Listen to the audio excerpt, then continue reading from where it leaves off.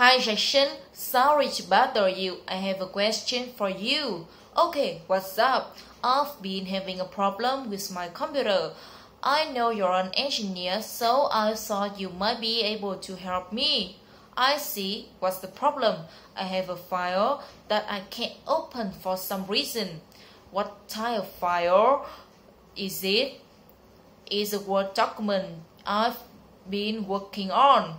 Hmm, I need to finish finish it by tomorrow.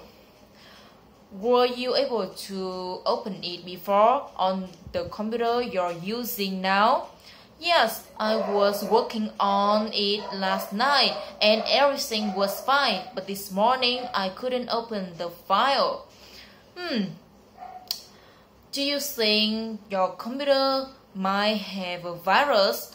No, I checked it and there and is there uh, and there weren't any. Okay, I'm not sure what's wrong. If it's possible, email the file to me and I'll see if I can get it to open. Okay, I'll do that when I get home.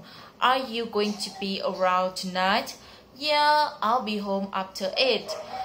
Send it to me when you get chance and I'll call you later.